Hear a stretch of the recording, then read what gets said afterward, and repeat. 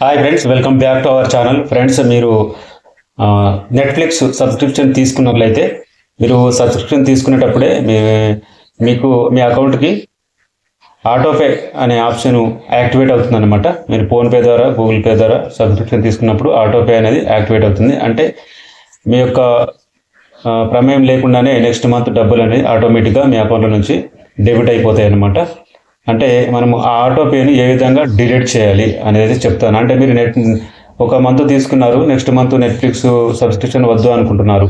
అటువంటి అప్పుడు మీరు ఈ ఆటో ఆపే ఆటోపే ఆప్షన్ అయితే డిలీట్ చేయాలి. లేదంటే మీ ఆటో అకౌంట్ నుంచి డబ్బులు ఆటోమేటిక్గా డిలీట్ అయిపోతుంటాయి అనమాట ఆ విధంగా కాకుండా ఉండాలంటే ఈ ఆటో ఆపే అనే ఆప్షన్ అయితే డిలీట్ చేయాలి. అది ఏ విధంగా చేయాలనేది ఇప్పుడు మీకు చూపిస్తాను.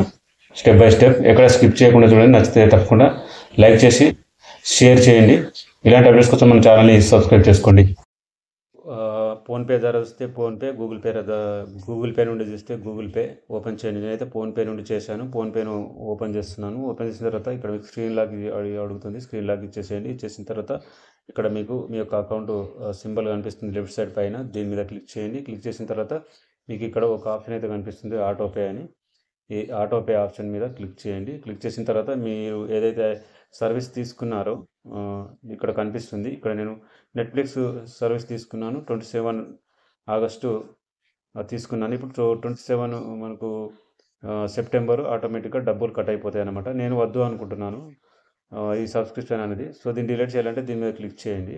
క్లిక్ చేస్తే మీకు నెక్స్ట్ అనేది ఈ విధంగా ఓపెన్ అవుతుంది. ఇక్కడ మీకు ఒక ఆప్షన్ అయితే కనిపిస్తుంది మళ్ళీ. ఆ డిలేట్ ఆటో పే అనే ఆప్షన్ అయితే కనిపిస్తుంది. దీన్ని క్లిక్ చేసేయండి. క్లిక్ చేసిన తర్వాత ఇక్కడ కన్ఫర్మ్ చేయమంటుంది. కన్ఫర్మ్ చేసేయండి. ఓకే. ఇక్కడ కన్ఫర్మ్ మీద క్లిక్ చేస్తే ఇక్కడ మీకు ఇక్కడ అమౌంట్ చూపిస్తుంది బట్ ఈ అమౌంట్ అయితే కట్ కాదు. ఓకే. ఇక్కడ మీ పిన్ ఇచ్చేసేయండి. PhonePe pin. ఓకే.